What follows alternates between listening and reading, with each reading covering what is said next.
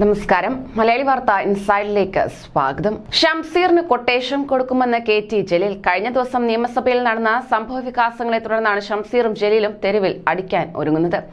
ജലീലിന് പിണറായി പിന്തുണ നൽകുന്നു എന്നാണ് ലഭിക്കുന്ന സൂചനകൾ. വരും ദിവസങ്ങളിൽ സി പി എം സംസ്ഥാന secretary M E Govindan speaker A N ഷംസീറുമായി സംസാരിക്കുമെന്നാണ് റിപ്പോർട്ട്. സ്പീക്കർ ഷംസീറുമായി എം വി ഗോവിന്ദൻ അനൗപചാരിക സംഭാഷണം നടത്തിയെന്നാണ് റിപ്പോർട്ട്. എന്നാൽ നിയമസഭയുടെ ചട്ടക്കൂടുകൾക്ക് പുറത്തുനിന്ന് പ്രവർത്തിക്കാൻ തനിക്ക് കഴിയില്ലെന്ന് ഷംസീർ അറിയിച്ചതായാണ് വിവരം. ചുരുക്കത്തിൽ പാർട്ടിയെ തള്ളിയിരിക്കുകയാണ് നിയമസഭാ സ്പീക്കർ. നിയമസഭയിൽ ചാൻസലർ സ്ഥാനത്ത് നിന്ന് ഗവർണറെ നീക്കുന്ന ബില്ലിന്മേലുള്ള ചർച്ചയിലാണ് speaker A N ഷംസീറും K T Jaleel M L എയും തർക്കമുണ്ടാവുന്നത്. കെ ടി ജലീലിന്റെ പ്രസംഗം നീണ്ടതാണ് തർക്കത്തിന് കാരണം. ജലീലിന്റെ സമയം കഴിഞ്ഞെന്നും പ്രസംഗം അവസാനിപ്പിക്കണമെന്നും സ്പീക്കർ മുന്നറിയിപ്പ് നൽകിയിട്ടും അദ്ദേഹം അവസാനിപ്പിച്ചില്ല. പ്രസംഗം നിർത്തിയില്ലെങ്കിൽ മൈക്ക് മറ്റൊരാൾക്ക് നൽകേണ്ടി വരുമെന്ന് സ്പീക്കർ ജലീലിന് മുന്നറിയിപ്പ് നൽകി. എന്നിട്ടും ജലീൽ പ്രസംഗം തുടർന്നതോടെ സ്പീക്കർ മൈക്ക് ഓഫാക്കി. ചെയറുമായി സഹകരിക്കാത്തത് ശരിയായ നടപടിയല്ലെന്നും പരസ്പര ധാരണ വേണമെന്ന് സ്പീക്കർ ജലീലിനോട് പറഞ്ഞു. ജലീലിനെ മേക്ക് ഓഫാക്കിയ ശേഷം തോമസ് കെ തോമസിന് സ്പീക്കർ സംസാരിക്കാൻ അവസരം നൽകി. പ്രസംഗത്തിൽ ഗവർണർക്കെതിരെ രൂക്ഷ വിമർശനമാണ് ജലീൽ ഉന്നയിച്ചത്.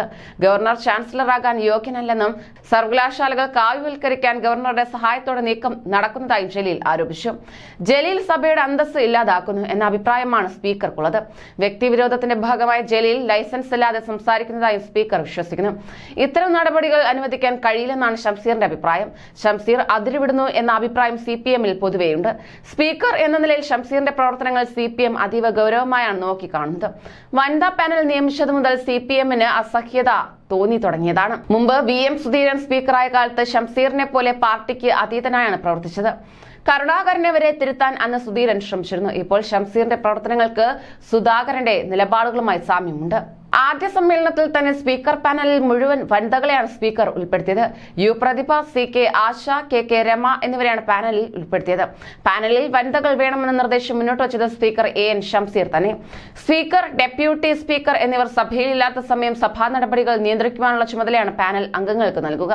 വനിതകളെ പാനലിൽ നിയമിക്കുമ്പോൾ രമയെ അംഗമാക്കേണ്ടി വരുമെന്ന് സ്പീക്കർക്ക് അറിയാമായിരുന്നു. എന്നിട്ടും അദ്ദേഹം വനിതാ പാനൽ ഉണ്ടാക്കിയത് ദുരൂഹമാണെന്ന് സി കരുതുന്നു. സാധാരണഗതിയിൽ മൂന്ന് പേർ അടങ്ങുന്ന പാനലിൽ പരമാവധി ഒരു വനിതാ അംഗം മാത്രമാണ് ഉൾപ്പെടാറുള്ളത്. ഒരു സമ്മേളനത്തിൽ തന്നെ പാനലിലെ മൂന്നംഗങ്ങളെയും വനിതകളിൽ നിന്നും നോമിനേറ്റ് ചെയ്യപ്പെട്ടത് കേരള നിയമസഭയിൽ ആദ്യമായാണ്. ഒന്നാം കേരള നിയമസഭ മുതൽ സഭയുടെ നടപ്പ് സമ്മേളനം വരെ ആകെ അഞ്ഞൂറ്റി പതിനഞ്ച് അംഗങ്ങൾ പാനലിൽ വന്നതിൽ കേവലം മുപ്പത്തിരണ്ട് വനിതകൾ മാത്രമാണ് ഉൾപ്പെട്ടത്. ഈ അവസരത്തിലാണ് സ്പീക്കറുടെ തീരുമാനത്തിനുള്ള പ്രസക്തി. സ്പീക്കറായതിനു ശേഷമുള്ള ആദ്യ സമ്മേളനത്തിൽ തന്നെ ഏവരുടെയും പ്രശംസ പിടിച്ചുപറ്റിയ തീരുമാനമാണ് ഷംസീർ കൈക്കൊണ്ടത്. ആർ എം പി നേതാവ് കെ കെ രമ പാനലിൽ ഉൾപ്പെട്ടതും അപ്രതീക്ഷിതമായാണ്. ഇനി കെ കെ രമ ചെയറിലിരിക്കുമ്പോൾ മുഖ്യമന്ത്രിക്ക് സംസാരിക്കേണ്ടി വന്നാൽ അദ്ദേഹവും സാർ എന്ന് അഭിസംബോധന ചെയ്യേണ്ടി വരും. അങ്ങനെ ഒരു സാഹചര്യം ഉണ്ടാകുമോ എന്നതാകും ഇനി ഉറ്റുനോക്കുക. പാനൽ തിരഞ്ഞെടുക്കുമ്പോൾ പ്രതിപക്ഷത്തിന് ഒരംഗത്തെ നാമനിർദ്ദേശം ചെയ്യാമെന്നാണ് ചട്ടം. അങ്ങനെയാണ് കെ കെ രമ പാനലിൽ ഉൾപ്പെട്ടത്. യു ഡി എഫ് അംഗമായി ഉമാ തോമസ് ഉണ്ടായിട്ടും രമയെ നാമനിർദ്ദേശം ചെയ്തു എന്നതും ശ്രദ്ധേയം. നേരത്തെ നിയമസഭയിൽ പ്രതിപക്ഷ നേതാവ് വി ഡി സതീശൻ സംസാരിക്കുന്നതിനിടെ ഷംസീർ ഇടപെട്ടപ്പോൾ ഷംസീർ സ്പീക്കറുടെ ജോലി ഏറ്റെടുക്കേണ്ടെന്ന് സതീശൻ പറഞ്ഞത് ചർച്ചയായിരുന്നു. എം പി രാജേഷ് മന്ത്രിയായതിനെ തുടർന്നാണ് ഷംസീർ സ്പീക്കറായത്. ഷംസീറിനെ സ്പീക്കറാക്കിയപ്പോൾ തന്നെ ഇത്തരം ചില ബുദ്ധികൾ പിണറായി പ്രതീക്ഷിച്ചതാണ്. പിണറായി കോടിയേരി ബാലകൃഷ്ണൻ നൽകിയ വാക്ക് പാലിക്കുന്നതിന് വേണ്ടി മാത്രമാണ് ഷംസീറിനെ സ്പീക്കറാക്കിയത്. മുഹമ്മദ് റിയാസിനോടുള്ള വ്യക്തിവൈരാഗ്യമാണ് ഷംസീർ മുഖ്യമന്ത്രിയോട് കാണിക്കുന്നത്. മുഖ്യമന്ത്രിക്ക് ഷംസീറിനോട് പണ്ടേ താല്പര്യമുണ്ടായിരുന്നില്ല. മുമ്പ് ഷംസീറിന് സീറ്റ് നിഷേധിക്കാനും പിണറായി ശ്രമിച്ചതാണ്. അന്നും കോടിയേരി ഇടപെട്ടാണ് ഷംസീറിന് സീറ്റ് വാങ്ങി നൽകിയത്. എന്നായാലും ഷംസീർ ഒരു തലവേദനയാകുമെന്ന് പിണറായി മനസ്സിലാക്കി. ചികിത്സയ്ക്കായി ചെന്നൈയിലേക്ക് പോകുന്നതിന് മുമ്പാണ് ഷംസീറിനെ മന്ത്രിയാക്കണമെന്ന് കോടിയേരി പിണറായിയോട് ആവശ്യപ്പെട്ടത്. ഇക്കാര്യം തീർച്ചയായും പരിശോധിക്കാമെന്ന് പിണറായി ഏറ്റു. തിരികെ എത്തിയ പിണറായി വിശദമായ ആലോചനകൾക്ക് ശേഷമാണ് ഷംസീറിനെ സ്പീക്കറാക്കാൻ തീരുമാനിച്ചത്. ഇതായിരുന്നു അദ്ദേഹത്തിന്റെ ബുദ്ധിപൂർവമായ നീക്കം. സ്പീക്കറാകാൻ ഷംസീറിന് താല്പര്യമുണ്ടായിരുന്നില്ല. എം ബി രാജേഷിനെ സ്പീക്കർ സ്ഥാനത്ത് നിലനിർത്തിക്കൊണ്ട് ഷംസീറിനെ തദ്ദേശ സ്വയംഭരണ വകുപ്പ് മന്ത്രിയാക്കാമായിരുന്നു. എന്നാൽ പിണറായി അത് വേണ്ടെന്ന് വെച്ചു. മുഹമ്മദ് റിയാസുമായി നടത്തിയ ചർച്ചകളിൽ തുടർന്നാണ് ഇത്തരം ഒരു തീരുമാനം അദ്ദേഹം കൈക്കൊണ്ടത്. മുഹമ്മദ് റിയാസിന് ഷംസീർ എന്നും ഭീഷണിയായിരുന്നു. കരാറുകാരും എം എൽ എമാരും തമ്മിൽ അവിഹിത ബന്ധമുണ്ടെന്ന് റിയാസ് പറഞ്ഞതാണ് ഏറ്റവും ഒടുവിൽ വിവാദമായത്. ഇതിനെ പ്രതിരോധിക്കാൻ ഇൻസൾട്ടാണ് മുരളി. ഈ ലോകത്തെ ഏറ്റവും വലിയ ഇൻവെസ്റ്റ്മെന്റ് എന്ന് A N Shamseer M L A ഫേസ്ബുക്കിൽ പോസ്റ്റിട്ടു. ഇത് റിയാസിനെ ലക്ഷ്യം വെച്ചുകൊണ്ടുള്ള കുത്തായിരുന്നു. വെള്ളം എന്ന ഹിറ്റ് സിനിമയിലെ punch ഡയലോഗാണ് N Shamseer M L A പ്രയോഗിച്ചത്. കരാറുകാരെ കൂട്ടി മന്ത്രിയെ കാണാൻ വരുന്നത് സംബന്ധിച്ച് മന്ത്രി മുഹമ്മദ് റിയാസും എ എൻ ഷംസീറും തമ്മിലുള്ള ഭിന്നത പരസ്യമായ സാഹചര്യത്തിൽ ഡയലോഗിന് രാഷ്ട്രീയമാനം കൂടി കൈവന്നു. വിവാദങ്ങൾക്കിടെ ഒളിയമ്പാണെങ്കിലും എ എൻ ഷംസീറിന്റെ ആദ്യ പരസ്യ പ്രതികരണമായിരുന്നു ഇത്. സംസ്ഥാന സിനിമാ പുരസ്കാര ജേതാക്കളെ അഭിനന്ദിച്ചുകൊണ്ടുള്ള ഫേസ്ബുക്ക് പോസ്റ്റിന്റെ തലക്കെട്ടായാണ് എൻ ഷംസീർ ഈ ഡയലോഗ് ഉപയോഗിച്ചിരിക്കുന്നത്. വെള്ളം സിനിമയിൽ മുഴുക്കുടിയനായ മുരളി എന്ന കഥാപാത്രത്തെയാണ് ജയസൂര്യ അവതരിപ്പിച്ചതും മികച്ച നടനുള്ള പുരസ്കാരം നേടിയതും.